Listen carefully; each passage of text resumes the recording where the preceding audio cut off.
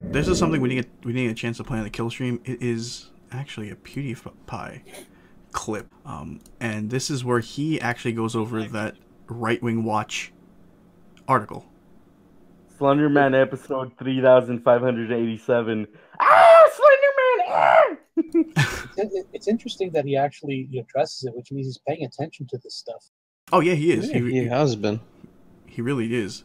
It's sort of insane that two over two and a half million people have watched this video. so stupid. Most of these names, as far as I've deduced, I don't know, aren't even far right commentators. It's just a label to put on them for the sake of convenience. And by that measure, I'm, I'm surprised I wasn't in this. I, a lot of times people call me far right, even though I never explicitly said any right wing political view beyond any social politics. This whole this whole di- this You mind whole pausing for a image second? reminds me of that meme That one part. Yeah, go ahead. Uh, the reason why he's not on the list, I think, is because he's not in debates with everyone.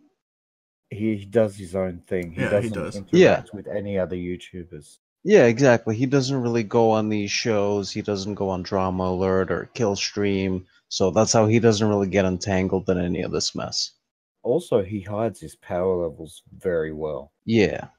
Yeah, I I, mean, he does. He's woke as fuck. Ever since they went after him, he got woke on the a lot of things. Yeah, to, Red to be Bull. yeah, to be fair, when the media goes after you and starts calling you things that you're not, it really wakes you up pretty quickly to know that the media is fucking scum and they lie about fucking everything.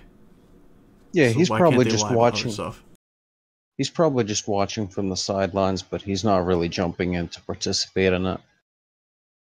I don't know. I've I've heard that he's um, you know, become a little bit politically active just behind the scenes.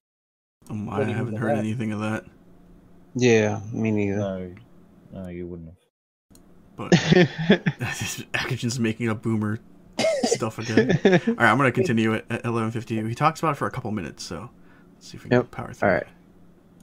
right. meme, you know, where the football coach touches his balls and then it's the same thing. Uh, really great study. They're also enforcing that YouTube must respond. They must respond with policies against these influencers. So this uh, study isn't just a study, it's also calling to action towards YouTube to make something about this. I could go into deep details, but I, I can't, no one cares. They talk about how mainstream legacy media have built credibility through fact checking, while this study gets simple facts wrong drawing lines between collaborations and interactions that never have occurred. They talk about how these YouTube influencers use controversy to sort of boost uh, themselves and for He's monetary gains, which of course uh, mainstream media has never done. They never use controversies to thrive themselves upon uh, uh, these uh, things. Literally, The Verge's headline on this incident was how white supremacists are thriving on YouTube.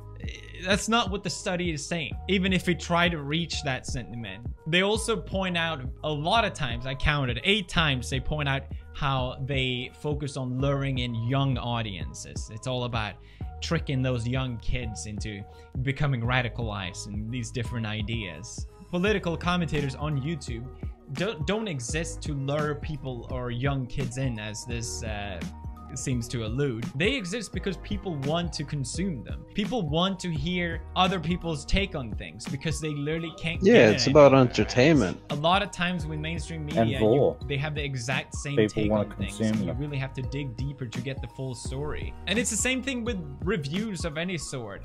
I think there's been a shift where people want to hear what other people are saying. I'd much Exactly rather right. hear a YouTube reviewer talk about a video game than a faceless company evaluating a game.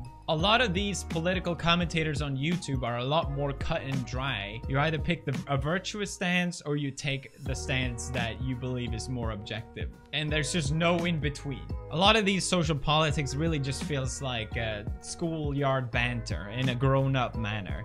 Uh, oh, you're you're bad. No, no, no, you're bad. It's all about who's evil and who isn't. I'm Kate Riley, and you watched Pew News. I'm Kate Riley, and you've just been riled up. Okay, I think that's I the like end of that. We'll, we'll stop it right there. But nothing he said in this entire video was wrong. He's right about that. Let's be honest, Yeah. kids kids aren't really watching, you know, any of us. This stuff isn't entertaining to them. Eh, the young audience, I don't know what he means by young what that article means by young audience at all. The army of nine-year-olds. Yeah, the, the, the Minecraft army, right? The Minecraft militia. Clearly, they're all watching. Uh, they're all literal watching Peppa. Pig. Oh yeah, No, kids are watching literal him. projection. They Yeah. start indoctrinating um, people into the shit as soon as they're kids. So they're gonna they're projecting that on the right.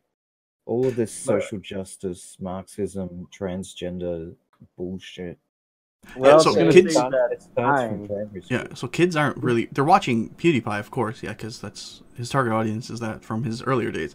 But as for as for any of us, or you know, anyone like they had who JF on there, they had Sargon on there, Red uh, Coach Red Pill. I don't think kids are watching Coach Red Pill, you know. Definitely not watching Andy I don't think anyone's watching Coach Red.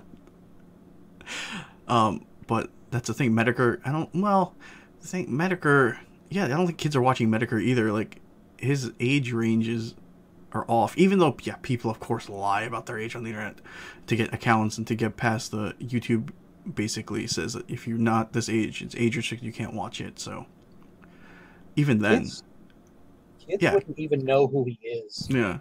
So Nathaniel Heath in the chat. Kids are interested in video games and makeup tutorials. Yeah, pretty much. They they want to watch video games. They want to watch cartoons or whatever, and, and things like that. They're not watching us for a political commentary. They're not watching it for like Trump news or anything like that.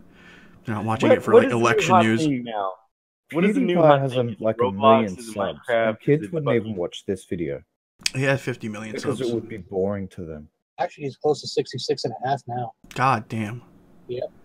But Yeah. kids these days are watching Fortnite dance videos. That's there you go. watching. That's what they're watching. If it's got Fortnite in it, they're watching it. If we if we make Fortnite and talk about that stuff, yeah, then maybe they'll watch it. But other than that, they're not watching it. Did you hear about the official like Fortnite dance classes? No, I, that I have not, and that's that's fucking terrible.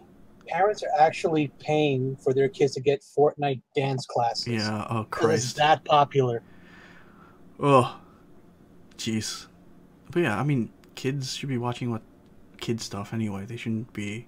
Let kids be kids should- and let them, you know. They shouldn't be fucking watching anything. They should be outside. Well, if you're gonna watch something, watch something that's you know, kid stuff. You know what? I think kids should learn all the other things in Fortnite, such as shooting guns. Oh, building, building walls. No. Well, I saw no! th- I saw this this morning, and I laughed my ass off when I saw the video. I'm gonna play it real quick. I'm gonna say workers try to stuff dead whale in dumpster. This is from the Post. So I'm gonna play this. Uh, it's a Twitter video. So this is this. Oh Jesus Christ! This is something else.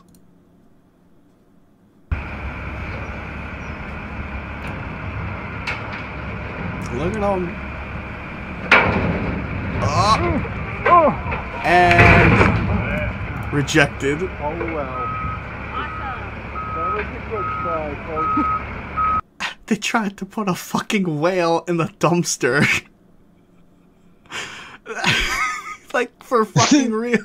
they tried to put it in the dumpster. Let waste management deal with this shit. We're not dealing with this tonight. Oh yeah, that's smart. That'll fit. That'll definitely fit in that hole.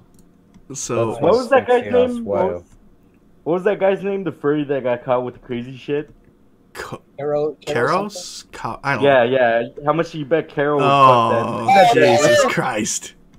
Caro, no! He probably would. Um, so this was a whale of a bad idea. Someone with barnacles for brains tossed a 4,000 pound whale inside a way too tiny dumpster, and video captures a moment. We watched that video.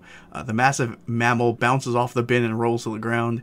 The male juvenile minke whale was found floating Sunday around the Isles of Shoals and washed ashore on Jenness Beach Monday morning. The Seacoast Science Center in Rye, New Hampshire, told NBC 10 Boston.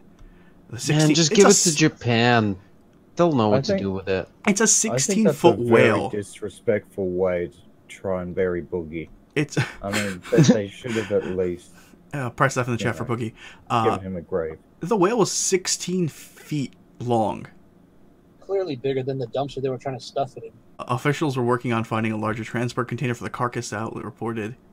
Jeez. They just want to dump it into the fucking dumpster. Oh, I'm gonna play it again. It's just too funny. It's just too funny watching them think this is gonna work. Like, you can fucking clearly see that the whale is much bigger than the fucking dumpster. And it's leaking fluids everywhere and shit. Even if you had, even if you had gotten it I mean that tail's gonna be popping out halfway in the air. Yeah, and, and you hear you the would then have thud to when it hits have the to ground. angle the um, forklift forward, and then try and stuff it in, which is going to crack that tail in half. Oh, toolbox, toolboxy. I've seen that. The whale, they blew up a whale with TNT, and it just guts fly fucking everywhere. Yeah, I remember. I was that. just about to say, isn't that the only way to deal with a whale? Uh, you could just sink it into the ocean where they belong. Why do you have to take it out? yeah, Yeah. yeah. It Just feeds put it the back. it feeds the fish. Exactly. Just throw Yeah, it in, is- let it sink to the bottom. Jesus That is Christ. so un-American. I mean, you could put it dynamite in it and Yeah. blow it to pieces. But then you have, They, they but, did that to O- to Osama. but then you have a giant. Then you have all these whale bits everywhere, and it's just the beach is. You can't go to the beach because it stinks like de- carcass, like what is it, rotting whale carcass.